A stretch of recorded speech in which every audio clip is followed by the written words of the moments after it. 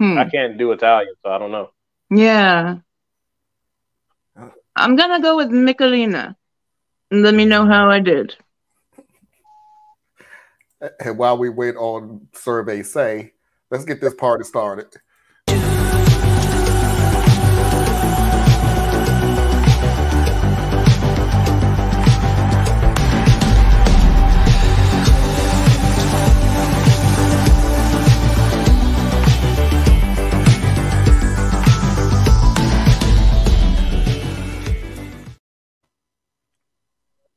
Caught you this time. So let's go ahead and get the serious one out of the way. And the only reason I really want to play this video is because I'm not saying I grew up on I grew up with this um this thought process. Hmm. I didn't grow up with it being on the other side. Um, you know, I grew up poor, so I understood um, the thought process of doing this. Um, but this is looking fr- looking at the same concept from a different economical standpoint. I let my husband cheat on me. My husband, who's 28, is wealthy, and he's providing me, a 30 year old woman, with a great life while I'm studying. I would have never been able to afford it otherwise. As a matter of fact, I was a barista before I met him, and I didn't even dare to dream about starting college. Now, I'm in engineering school, and he pays for everything. We have a great house. I don't need to do anything but study and have fun. His best friend from college, a 27 year old woman, separated from her common law husband after he cheated on her. She had no place to go, and we have a guest house. I never had anything to worry about with them because they'd known each other for ages. I always thought that if they wanted to, it would have happened already, but I was mistaken. I started having a hunch because of nothing in particular. I just felt that they had changed with each other somehow, so I snuck in on them after pretending to go to my mom's. Nobody knows that I know. Afterwards, I couldn't let him touch me for two months, blaming it on stress from school. Now we do passionately hug because I don't want him to suspect me or get tired of me. I cried the first time that he touched me after I found out, and I wanted to vomit, but I blamed it on stress. Now I just let him. I try to think about other things and try to convince myself that it's just passionate hugging. I fake it sometimes when he notices me being absent minded and starts saying, Baby, come back to me. I'm in a race with time to finish school before he throws me aside for her. I also had an IUD inserted without telling him. Nobody knows, not even my closest friends. Everyone thinks I'm the luckiest woman on earth, that I'm so loved and cherished by an amazing, successful husband. Nobody knows that I cry myself to sleep every night. Hi, Tracy. Hi, Jason. Tracy. So, like I'm saying, so maybe my my what I said at the beginning would make more sense. I've seen it from my economical standpoint of people staying together surely because of economics. Right. Surely for that sole purpose of economics. It wasn't love, it wasn't caring, it wasn't anything other than the cheaper the keeper type thing, guys and gals. So, but I saw it from that point. So when I heard this story, I thought, okay, I can see it from that point of view. Like the the serious, the the worst type of fake it till you make it, because sister just pretty much saying as soon as she graduates and get a job, she out. But she can't she can't pull that trigger right now because it's not in her best interest. It's, No, it's not to her convenience. no, it's Different. Right, right. No. So she's literally could talk to him. You know, the person that she chose as a husband and life partner. Uh, they Hmm. they obviously view this in the contractual sense. So, um, and this is why you know jump a little bit of a tangent here. I wasn't even really gonna say much about this one, but this is one of the reasons I get so um, annoyed. I don't get angry because it ain't got nothing to do with me, but I get Mhm. annoyed with social media commentary where, and it comes from this particular point comes from the women on social media who equate all things in a relationship to financial. And like I try to tell them, look, that's fine if that's how you roll. Just make sure you're ready for everything that comes with that. Because if I know the reason you're with me is because of my financial ability, then you become an, you become a commodity. And once I can get something better for the same money, then I'll switch you out and I'll get something better.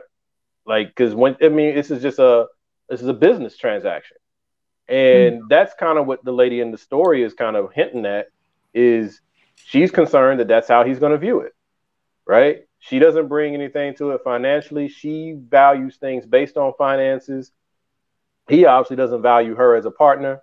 And then so she's like, as soon as he's tired of me, he'll switch me out and he'll, you know, get something else. Well, if you're willing to do this on a contractual basis, because I, I feel no compassion for this woman. I just don't. And the reason why I don't is because she even said, I'm staying because of what I can get out of him.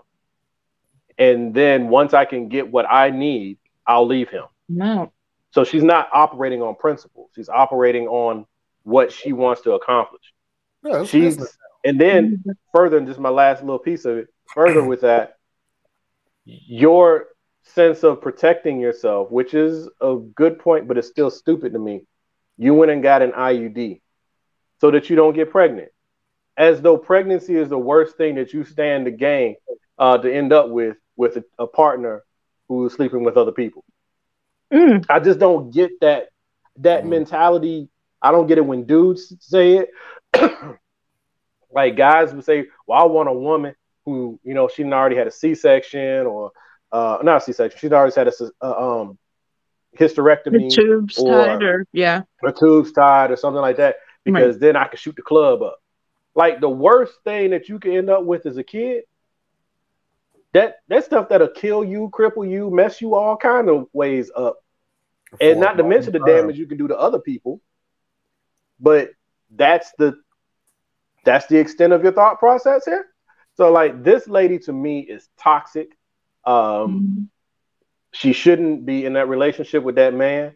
I know that the tendency is going to be look at him. He doesn't respect her and and Mhm. all of that. And maybe that's I true. heard a lot of respect.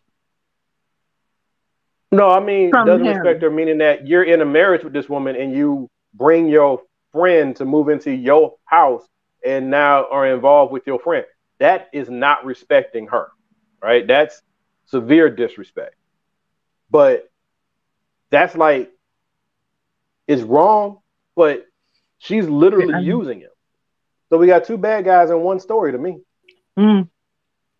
Sorry, I missed the part that he actually he brought the the twenty seven year old into the house. Yep. Which, which by the Moved her way, into the guest house. by the way, which is is real funny. So the 27 Mhm. year old that he brought in left her husband because the husband was cheating. Right. So so you're gonna go and move in to cheat. Well, Well, that actually that part actually makes sense. we don't know. I mean, no, do that we? part makes sense. How would that part make sense? The way it makes sense is you got two people who are in a relationship, okay? And then one of them gets cheated on. So the one who gets cheated on, their whole world just got turned upside down, right? Right. Whatever role they played in making a bad relationship, because I don't ever, I don't ever let both people off. But whatever role they played in making a bad relationship, secondary. Fact is, their partner cheated. So now this person has lost that symbol of their life, and now they have to go build a new life. Oftentimes, the person who gets cheated on wants a little bit of vindication, a little bit of get back. So then Mm. they go cheat.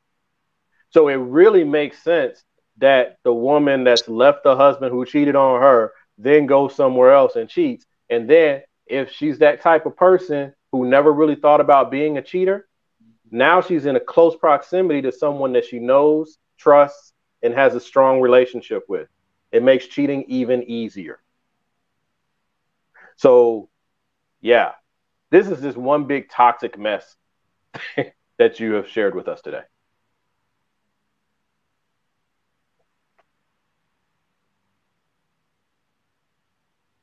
Was there ever confirmation in some kind of way that they, the best friends, were actually having a relationship? She called them.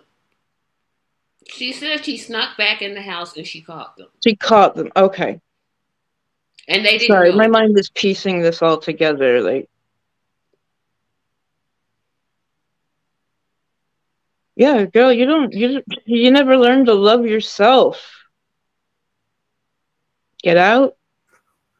Well, she's garbage too. I'm I'm just with sitting the here. big I'm, I'm steady sitting here going, "You got anything, Tracy?" And Tracy looking at me. I'm like, because you were on mute. I'm like, I, I I, can hear you. like Um, is Tracy mad at me? She ignoring me? Like, yes, I am mad. The whole peppermint, no patty, no peas. Yeah, I haven't forgotten that.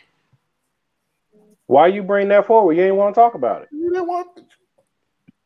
No, but I haven't forgotten that comment. No patty, no peas. But you ain't want to talk about it. But And I'm not after this. She's this lady is garbage. He's garbage for cheating.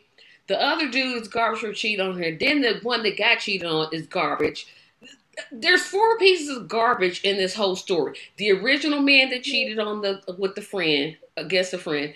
Then the husband, I guess they're married, cheating on the wife, and then the wife's like, I just married him because he could pay for my education. Girl, go get a part-time job. Get a student loan. There's many other options that you have. You don't have to stay with somebody because of their money. Unless, And that's no, not fair to him. No, And it's not fair to him. Yeah, but you got to think about it this way. Do she care that it's not fair to him? But that's the point. That's That's the right, point. At this point, right now, she's looking at it him. but she's already said I'm with him because he's paying for my education. I don't have Right. any backbone of my own. This is a I'm just a business- leech. She married. She married the sugar daddy. Now, if it's a sugar daddy marriage, then everything is fair game. Yeah, because right? he knows. He he knows. Right. He married her for her looks in in her in her youth. She married him for his his resources. And then they they might have an open or quasi open or in his head open relationship older because he knows that him. she's Huh? no, she's older than him. But She's Thea older was than him. Saying, But I'm saying it's still sugar daddy isn't about how old you are, it's about your financial position and the makeup of the relationship, right? So I'm s- I'm If- sorry. I thought you just said that he was looking for something younger, and that's why I just I thought she was older than him. oh, I see what you mean. Yeah, you're right. You're right. sorry, sorry. But if if that's he's basically he is leasing sex, hmm right? Yeah. And Yeah. she so she's prostituting herself to him, Yeah. and he's leasing it out. And then he decided to go rent another car for the weekend, and and uh, you got this whole thing going on. It's just a whole bunch of just mess, I just messy, messy, this- messy. They, I'm supposed It's to feel messy. sorry for somebody. I don't feel sorry for any of these people. No, I don't feel No. sorry for absolutely. You don't have to feel sorry for anybody. No. This is not That's I No, don't like people who take advantage. Of a people. hole I moment. don't like I that. don't sorry for nobody in this. thing. Agree to this. All right, Yeah. let's move on real quick. Um, Wow, that was Marlon an all agreement. Hey, That's that's that's a rare thing. but- oh, that we all agree. Yes, Yeah, all four of us actually do. Mhm. It won't happen again. Don't worry about it. It'll be a while. I ain't even gonna worry about it. Pre- It'll be President Thea's by the time we all agree on one subject at the same time. all right, let's move on. How did he You know that, Tracy? vote. How did he know that? I, I was gonna say, how did he know what we talked about on our in our in our um the Saturday show? Whoa! I was That going off is like amazing. Ithias ran for Congress. No, no, no, no, no. So let me tell y'all the backstory just real quick. Hmm? So I had I talked about how I I moved the Friday Fun Show to Tuesday because I'm gonna play. So I said name five people who shouldn't run for president and five people that should run. Well, should run first person. His name was himself, like just right off the bat. I agree. Thank you, Anna. So when Marlon brought that up, I'm like, was he there? But you weren't there. no, I I literally was going to jump on, but this, putting the show together was a little rougher than I thought. It was like